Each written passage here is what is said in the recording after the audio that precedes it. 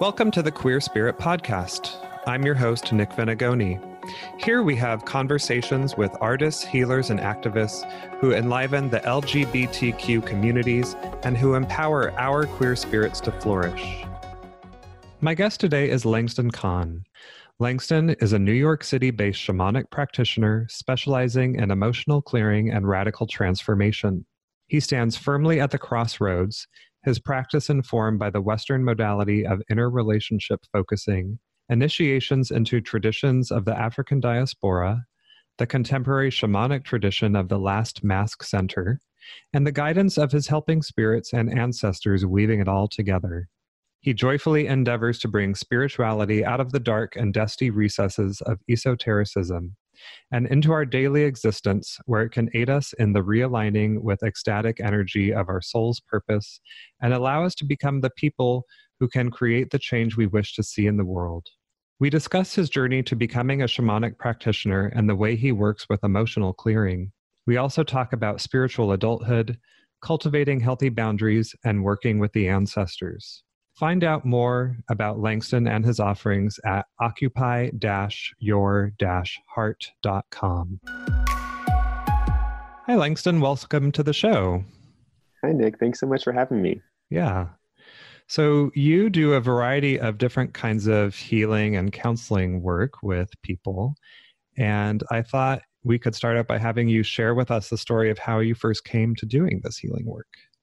Absolutely. Yeah um, whenever I start to tell this story now, I just want to start like at the beginning at birth. But to summarize, I think really the first spark of wanting to do this work was just being a kid who was very empathetic and really felt it was important to care for those who others weren't caring for. Like I would always be the kid who was noticing, like, oh, no one's friends with that kid, so I feel I now I have to be friends with them and help them and there's some beautiful things about that and some you know patterns i had to change with that later on. But I, I always just ever since i was little i just had that sense in me that that was important. I think partly because of my mom reading me a lot of fairy tales. And there's that real ethos in fairy tales that you know you have to you never know who's a fairy in disguise. You have to care for everyone. And the people you take care of often will be the people that can help you later on and all that kind of ethic. And so i really took that to heart for whatever reason. And as I was growing up and getting older, especially my teenage years, I started realizing the people I was most drawn to, not because of just wanting to help them, but because they were the creative people and sensitive people and open people and weird people, were often also the people that were in a lot of pain, that were maybe self harming or medicating or self medicating or being diagnosed with various types of mental challenges. And I wanted to understand why it seemed like the people that were most sensitive and open to what I perceived as actual the possibilities of reality were the people that were in the most pain also so often. And I think what another little event that allowed me to start taking that wondering and that questioning outside of just my circle of friends and start thinking about the world was I had this incredible middle school teacher, Mr. Cohen, who would wake up at like 5:30 in the morning so he could get to school at 6 and meet with these uh, like three middle schoolers, like seventh graders, and read countercultural 60s literature with them. So we read like One Flew Over the Cuckoo's Nest. And in that book, they talk a lot about the combine, this like sort of force of the, this embodiment of all the structures of oppression that work to sort of grind us down and help us to conform.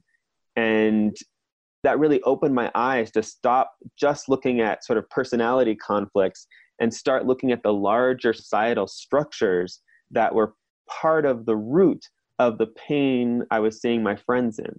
Mm-hmm. I don't mm-hmm. know if I could have articulated it that well at that time, but mm-hmm. those gears were starting to turn in my head. And I was so I started to ask bigger questions about so why culturally do we have rising rates of mental illness every year as i was reading about the history of the mental health system and you know all of these different dysfunctions culturally I wanted to find answers for.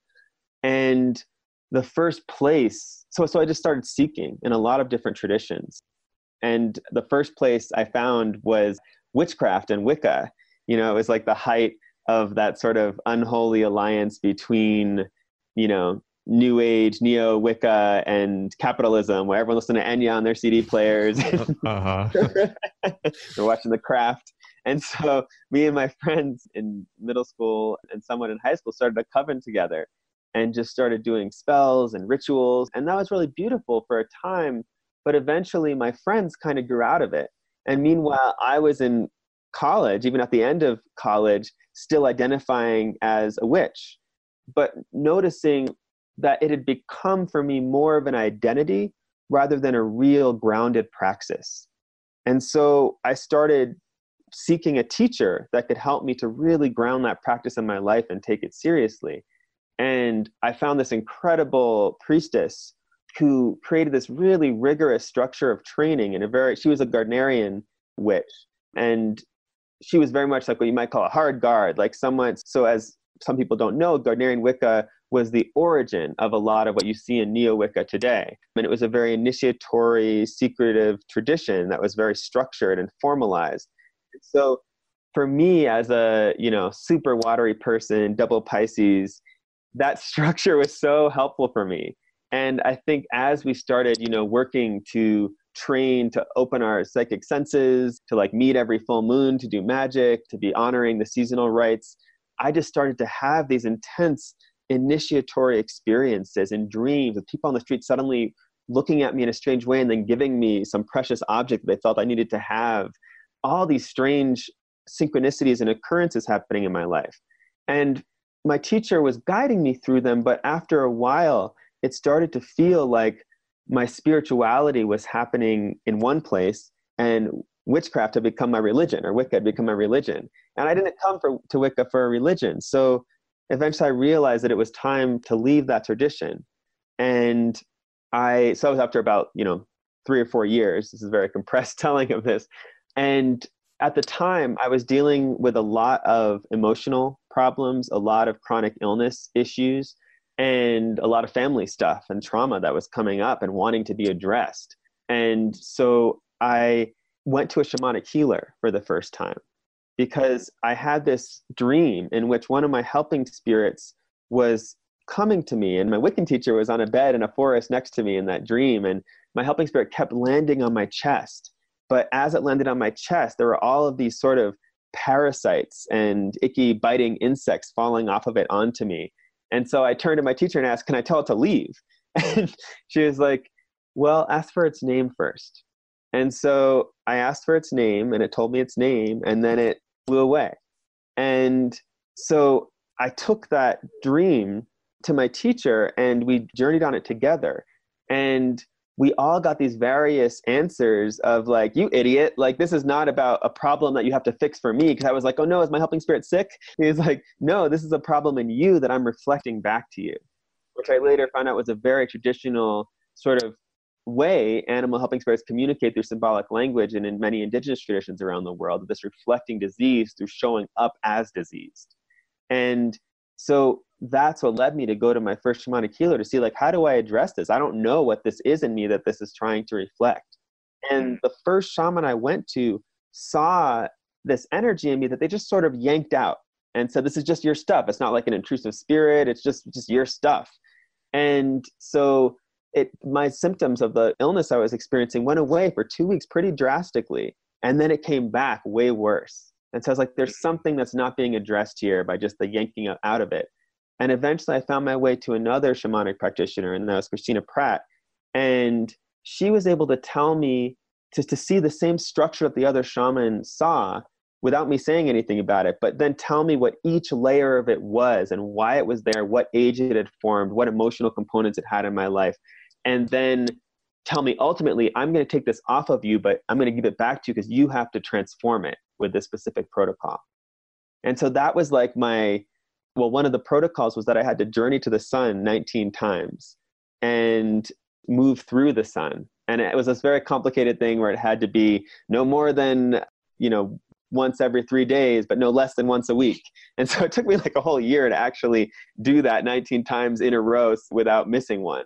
But that was like my journeying boot camp. And it just sort of started to open me up to the world of shamanism and allowing me to engage with the helping spirits that have been trying to get my attention in a way that was actually conscious instead of just like, oh, I happened to dream tonight about this helping spirit or this random person on the street happened to come up to me. And that was a big shift for me. But as I was working on healing these deep rooted family of origin patterns and these energetic structures, what happened was I got to a place where I was like, okay, I fully healed this. I did a big ritual at a river. I'm ready to let go of this. And then I pulled a tarot card to see what the state of my health was now. And I got the Seven of Pentacles. And that's the card with a man standing, staring at the vines, looking hopeless. And so I was like, oh, this is horrible. I'm still stuck in this mess. And but then I ended up signing up for the cycle teachings, this four-year training program in becoming a spiritual adult and not becoming a shaman, but just using shamanic tools and becoming a person who can sort of engage these indigenous spiritual technologies in a way that is of integrity, not just trying to shoehorn them into our contemporary Western understanding, but actually stretching your own capacity of your heart to engage these tools as a spiritual adult. And within the first retreat, we had this fire ritual where we were able to discard anything that was in the way of our authenticity and our relationship with our authentic self so we could sort of restart that relationship. And I gave up the energy that I've been working with, which was these sort of black vines that I was using instead of having healthy boundaries. And in that moment, I felt them just leave. I didn't need to draw a tarot card, I just knew they were gone. And that was a huge moment for my path and why I do the work I do now because it showed me that it's not enough to just be following our own individual path of healing, but so often to heal wounds that were created in community, we need the structure of community ritual to hold that transformation. And so that led me on this path of this intensive training. And then afterwards, continuing to realize the more I took away the stuff that was in a way in the way of me experiencing my own divinity and my own the energy of my purpose that I'm here to live, the more I started to realize that shamanic healing work actually is a really excellent vehicle for my gifts in the world and to, for me to start addressing some of those root problems that I was seeing culturally, like birth not being tended, initiation into adulthood not being tended, death not being tended well, people being helped to move on, people not being made into true elders that are honored and respected and can share their medicine they've learned over their lives and so for me, this way of working with shamanic healing and emotional clearing is a way of beginning to help people move into that experience for themselves of opening their heart to those energies and those truths and their own unique genius that they're here to live. Mm-hmm. Wow, that's quite a journey. Thank you for sharing all of that. Yeah going back to one of the things you had mentioned a moment ago, which we had talked about a little bit before the recording, which was the importance of spiritual adulthood and the importance of that. I wonder if you can say more about your experience of that. Yeah, and that's a funny term. I think a lot of people have a lot of assumptions about what that means when they first hear because we all have different ideas of what it means to be an adult. And one of the things I see right now in the popular discourse a lot of the time is like, you know, we're all posting on Facebook like, uh, adulting today is really hard, you know, and like, and is any, and the, I see this theme repeated again and again of like, is anyone really adult? Doesn't everyone just feel like a big kid trapped inside of an adult body? And I would say no, actually. And I don't mean that in a judgmental or critical way, but I think that to assume that everyone has this experience of feeling like a child in an adult's body is to normalize a pathology. And again i don't i mean pathology in a critical way i mean pathology as something our soul is trying to communicate to us that is wrong that is off to that soul that it's wanting to shift and change. And i think that fear and that anxiety of feeling like a kid in an adult's body is not how human beings have always felt. I think it's actually a fairly recent thing. Not recent in terms of like the last decade but recent in the last like you know maybe 100 years. And I guess you know we hear these terms like initiation into adulthood, and we think it's some like intense rite where someone has to undergo a fierce challenge and then they honor their their new sexual prowess or something or their ability to get bear children and then they come back into their community. And that's maybe true to some extent. But from talking to people who have actually experienced that kind of journey in an indigenous context it's a lot more about fully opening up to a new relationship with the numinous, with the sky, with the earth, with the sacred elements that it's really hard to have if you haven't been supported in dropping your family of origin patterns and the baggage from your childhood and your parents and the ways you resent your community, perhaps. And then once you've dropped that and once you've stepped into that relationship with no longer depending on your parents to be your parents, but just as fellow adults, and then you're able, in a sense, to also realign with that energy that you came here to embody, that unique thing that you came here to do. Not as a, not like to be a teacher, but this energetic experience of something that you're constantly realigning and reorienting yourself to and trying to find more precise, more sustainable, more powerful vehicles for the expression of that are also nourishing to you and meet the needs of the world. And so it's really hard to do that and to move that process when you don't have actual elders who have done that supporting you in that process. Yeah.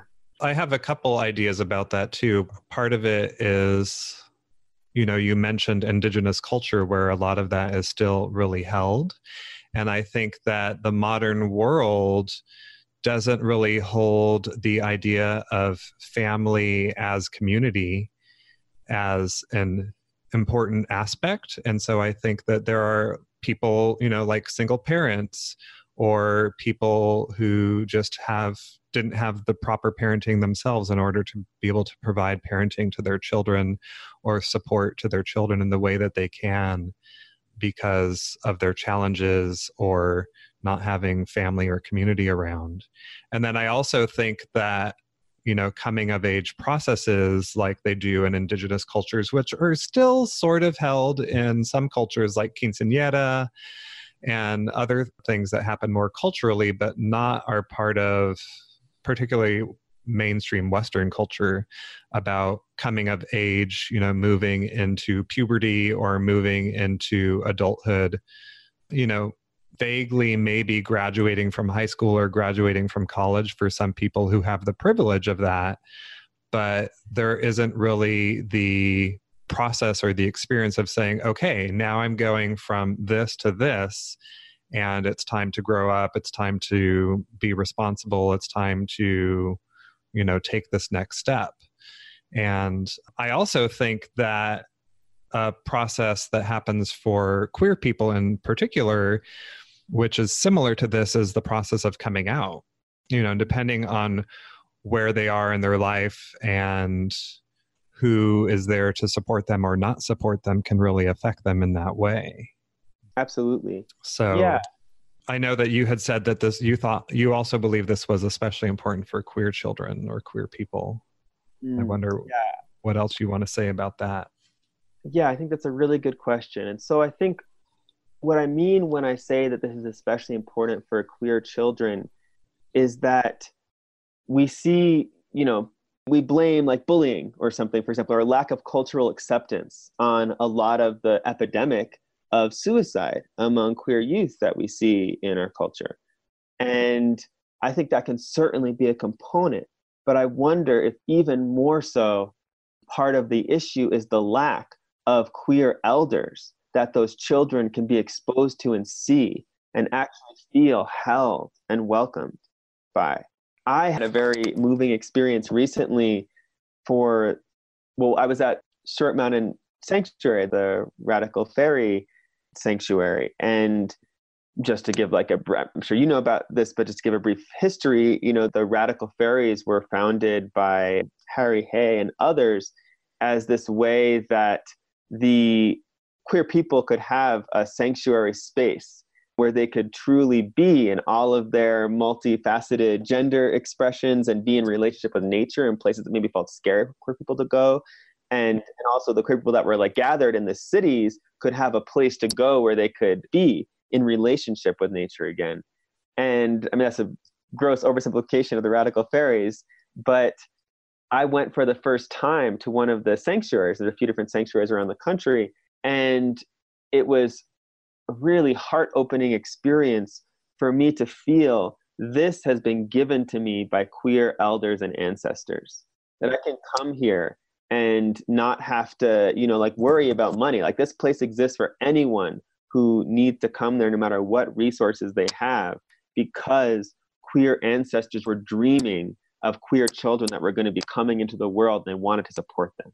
And to me, I realized that was the first time I had ever really had that experience in my life of feeling as a my queer identity held in that way. And so I think that's important for anyone to feel that you have elders and adults and ancestors that have been dreaming you into existence, that have been praying for you, that are so excited for your medicine to be here, and they want to support you in any way they can to bring that medicine into the world and share your love with the world, just like they're sharing their love with the world. And, but especially for queer people, we need that kind of container of support because our culture is so abrasive and harmful, you know, yeah, to yeah. Especially. Yeah. And because our path isn't going to be like a lot of the people's paths in our life who are in our family of origin. Mm-hmm. So I'm curious if this leads into one of the topics you wanted to share with us, which was how ancestral healing fixed your love life. yeah. So ancestral healing is a huge part of my path and sort of a specialization of mine. And so my first experience with my ancestors actually in my Wiccan tradition. We were doing a ritual for Samhain, and one of the coven members was a pretty gifted medium, and they embodied my grandmother for me. She just spontaneously came down, and I didn't expect her to come. This is who came. And they didn't know anything about her. They didn't know a thing about me or my family or my life. But the first thing they said to me, looked right at me and said, Don't believe everything you've heard about me. And at the time, I had mostly only negative stories about my grandmother because my father had a difficult relationship with her. My mother had some encounters with her where she seemed pretty narcissistic. And so that's all I had gotten. And I didn't know her really well in my life. She died before I was old enough to really know her. And so that was a big thing just to feel her presence there and hear her talking directly to me and think, huh, maybe the stories I got from the living aren't the complete picture. And within a week of that ritual, my parents called me up. I hadn't told them anything about doing this. They called me up and said, You know, we just found this letter. We were digging out some boxes. It's from your grandma, Estella. And it says for Langston when he writes his book. And it detailed these generations of ancestors and stories about them that I had had no access to before that moment. And so that was my first experience of feeling when we reach out, so often they can reach back even more so if we're willing to step into that vulnerability of asking for help from our ancestors. And so that was my first entryway into this world of ancestral healing. And then eventually, in my work in the cycle teachings with the Last Mask Center, there was other ancestral work because I knew I should talk to my ancestors. Like everyone knows, like at least now in like the spiritual world is a big buzzword. Like, yeah, we should be connected to our ancestors. But when I tried to show up my altar, it just felt like an obligation and a burden. I'm like, why am I here? Okay, I'll try my best. I know I'm supposed to reach out to talk to the well ones, not the ghosts. So, hello, well ones, where are you? But it just felt like I was talking to them from the bottom of a murky pond. And these people were like trying to shout down to me from above that were like bright and luminous, but I couldn't really see them. and so it wasn't any fun. I would like skip my practice a lot. I would forget about it. There was so much resistance. And it wasn't until I started doing deep ancestral healing work in my shamanic practice of going to the roots of the unresolved ancestors that were responsible for problematic patterns I had in my own life, and then fixing those patterns and taking them out of the line after the were moved on, that then I was able to start showing up my ancestral shrine and feeling resourced and supported and loved by these people who only wanted to share their wisdom with me so that I could live the most joyful and authentic life possible. I'd never like that they want like somehow I'd never thought about. My ancestors want me to have great sex. They want me to have good food. You know, it's like not like this like worshipful, like very airy, abstract relationship. It's like ancestors, the unique thing about them is they know what it is to be a spirit and they know what it was to be human. Yeah. It's very different than working with gods totally. For deity. Yeah very different than gods and deities. And so then after that experience with the cycle teachings i started to reach this place in my process where i had dismantled so much i'd healed so much but i still felt this place in my heart where i couldn't quite be intimate with and i was using my skills i was doing more shadow work dragging out shadow parts and transforming them i was you know dancing my animal helping spirits i was doing lots of emotional clearing work, but still I couldn't access this place. And eventually I realized that the reason that, and through talking to my ancestors, that the reason that I felt this lack of intimacy with myself. And you know, I realized I'm skipping a little part of this story is that I didn't just get right to like, oh, I'm not intimate with myself.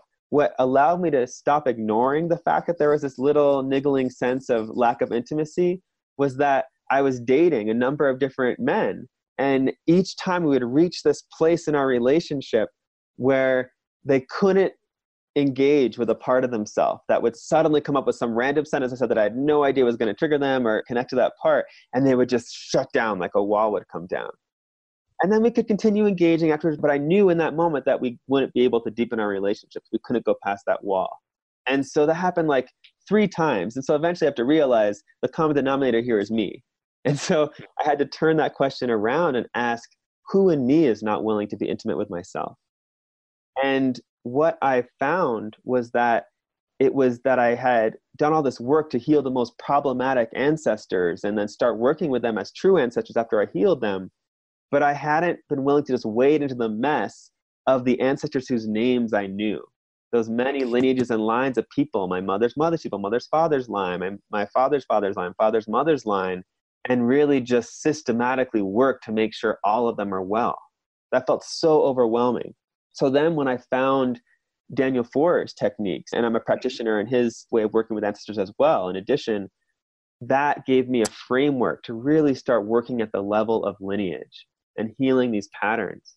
And at one point, I started feeling the change in my heart because now, you know, our ancestors are so a part of us. So the part of myself I wasn't willing to be intimate with, was the same part I was leaping over because I thought, oh, well, those ancestors are unresolved, so I can't connect with them, or I don't want to connect with them. I want to do all that effort.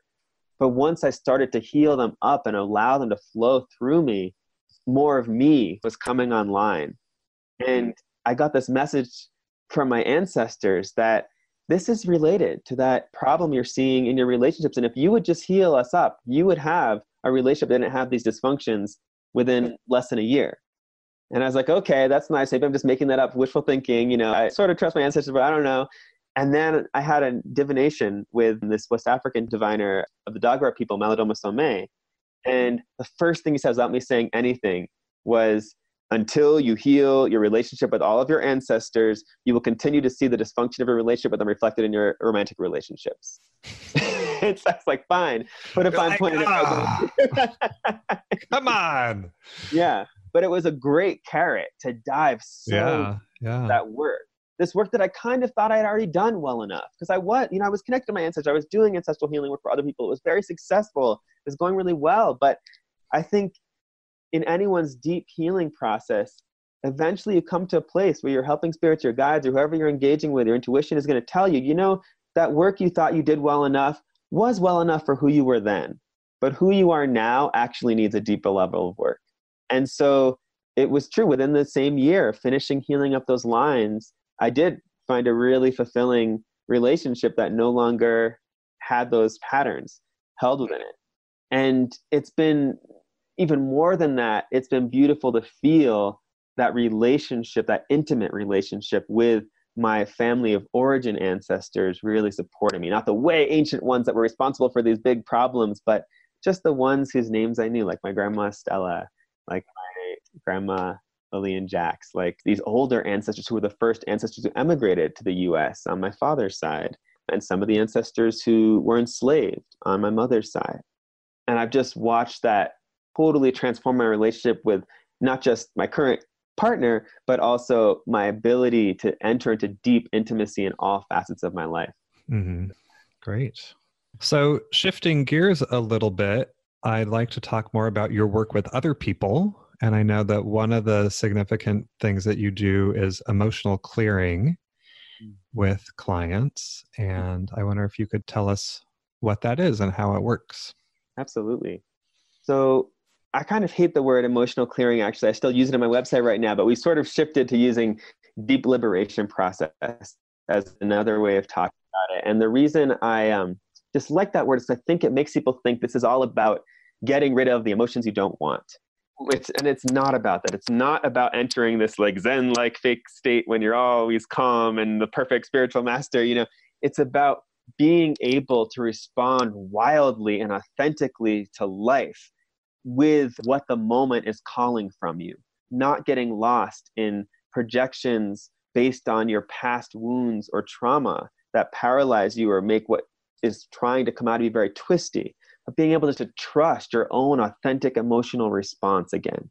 And so, how we do that in these tools, this deep liberation process, is first working to just begin to engage our lives as a teacher, learning tools that allow you to notice triggers that are causing you to amp up or shut down in response to them.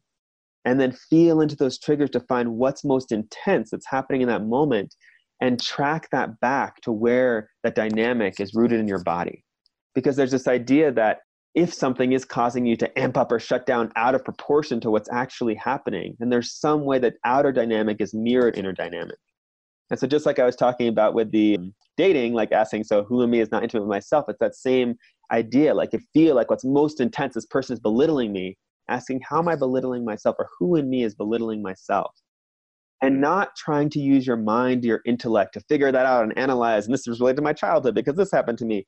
But actually dropping into the felt sense in a deep way in your body and allowing the felt sense to respond to you. So that might be like a sudden clenching in your stomach when you ask that, or sudden tears that come to your eyes, an emotional response, or an image of a red wheelbarrow. You're not sure why yet, or a memory that does come up from your childhood. But being willing to move into and trust whatever your body shows you and giving people tools to stay present with what their body is showing them as describe it as best they can and then track it to the root where it first started so they can then clear it there and when we're willing to go back or when we're able to go back to the first place something started it often clears every later iteration of that pattern in the person's life so it's not like you have to like when you start out in this process it often feels maybe like picking leaves off trees this trigger and this trigger and that trigger and then as you get more skilled in the practice and being guided in it, you can shake the branches and then eventually uproot the whole tree of these patterns.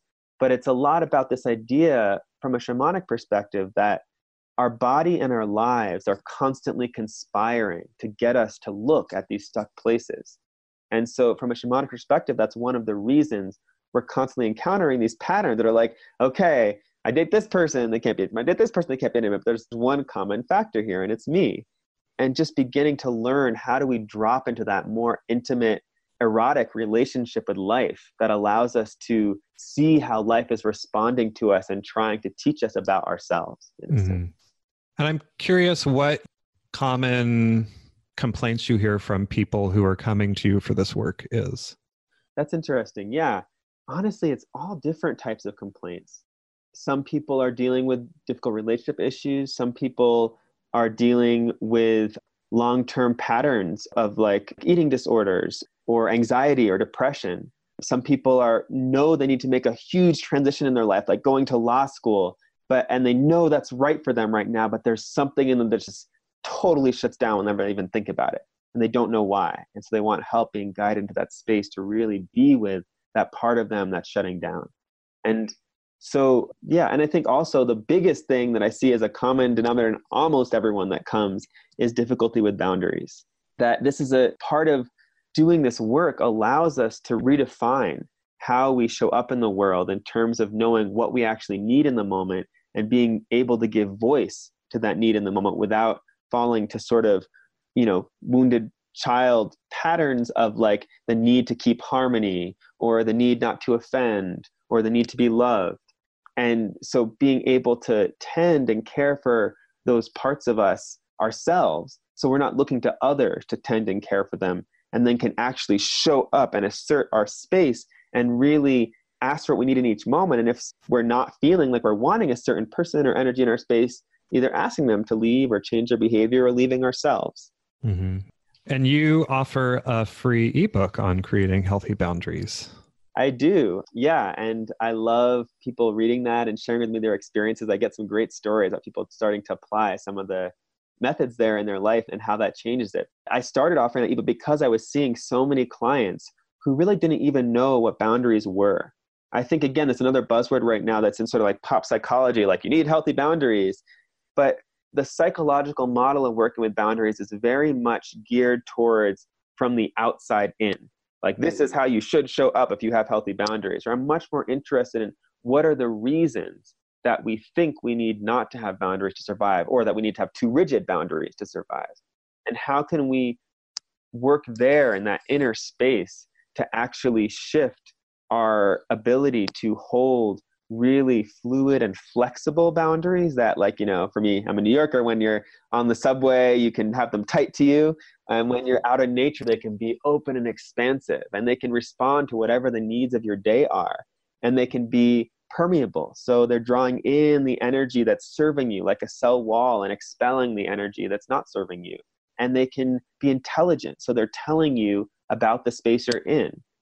Like i think everyone has the experience of walking into a bar and you're not drunk yet and you just feel that whole mess of like you know oozy energy because part of the reason people drink is because it allows them to relax their boundaries a bit yeah, and yeah.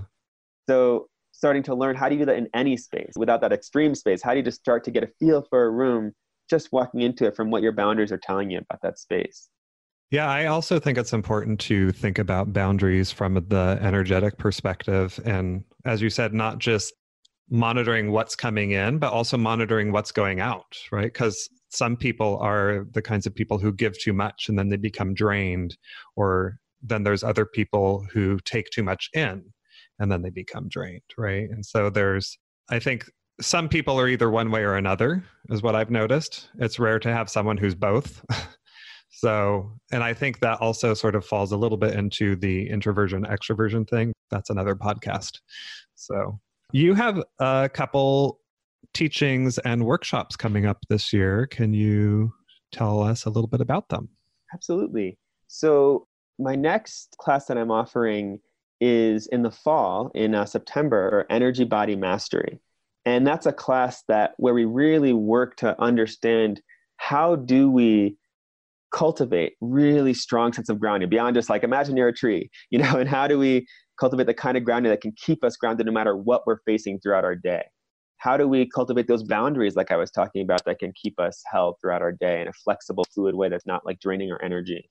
How do we cultivate a clear central channel, that connection to our own divinity and divine energy without all the stories about like what God might be or might not be, and just receiving those energies of blessing and protection in our life? And then how do we, once we've really created that energy body, how do we move into that inner landscape and begin to do that work I was talking about of self inquiry, of engaging with the parts of ourself that made certain choices so that we could survive at certain times in their life, but they're stuck in those survival patterns? How do we begin to understand the choices they made and help them feel supported in making new choices so we no longer feel dragged into these old patterns from childhood?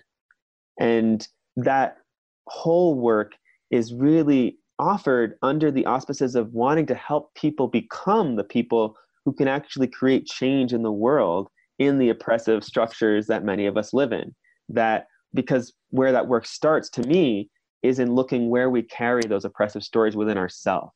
And so this lays the foundation to really begin rooting out those cultural troubles and how we've internalized them in ourselves, or queer people, especially like things like internalized homophobia or internalized ideas of what how a man is allowed to use their power, how a woman is allowed to use their power, how a non-binary person is allowed or not allowed to use their power, and beginning to really understand the ways we've taken on the oppression we've experienced and begin to continue to enact it in ourselves and begin to make a change there to mm-hmm. show up for ourselves with more compassion. Yeah. And did you want to mention the other class or? Yeah, carried away there with energy body mastery. So the other class I'll be offering, I'm going to be assistant teaching this class this year and I'll be offering it next year. It's Masks of Illusion and the Authentic Self. And this is the retreat I was talking about that totally changed my life and my process that I did about eight years ago for the first time. And so I'm going to be offering that, and it's in Arizona. And it's just a whole retreat designed to use indigenous spiritual technologies and but in a contemporary way. And maybe that's sort of backwards. It's like we're stepping into the mindset of a very ancient animistic way of working with ourselves and with the world, but learning the tools that allow contemporary Western people to get there without getting all stuck in their own sense of the ways you've sort of internalized being told that animism isn't real or that we can't you know engage with fire as a living being to create transformation in our lives and the whole theme of the retreat is helping you to repair your relationship with your own authenticity, to lay a foundation for you to begin to understand what the energy of your purpose feels like and bring it more fully into the world.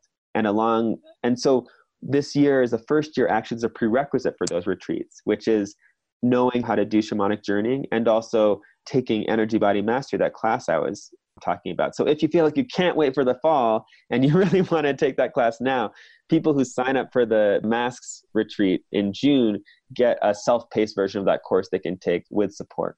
Got it. And the class in the fall, the energy body mastery, is also going to be online as well, correct? Correct. Yeah. So the class in the fall is an online course, and this class, the the mass retreat, is in person. Okay, great. And we'll have links to that on the show notes so people can find it there too. Yeah. So, Langston, can you share with us a person, practice, or experience that has supported your queer spirit to flourish?